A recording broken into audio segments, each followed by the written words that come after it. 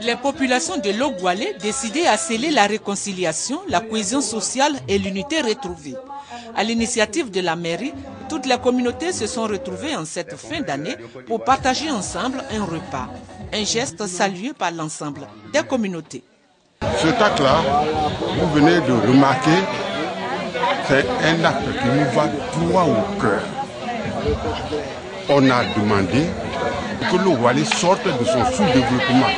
Et nous commençons à voir déjà ce début de développement. Il faut signaler que la mairie de Logwale s'est engagée depuis son installation dans un processus de réconciliation. L'objectif est de rassembler toutes les communautés autour du développement de la commune. Nous sommes euh, euh, engagés dans le processus de cohésion sociale. Nous sommes en train de, de réaliser plusieurs cérémonies axées sur la cohésion sociale, sur la réconciliation et sur le brassage culturel parce que le, le peuple, la population de Logwale est, multicolore. Avant ce repas, le président du conseil régional du Kabadougou et le maire de Logwale avaient décidé de réunir sur un même espace des enfants issus des régions de l'Ouest et du Kabadougou.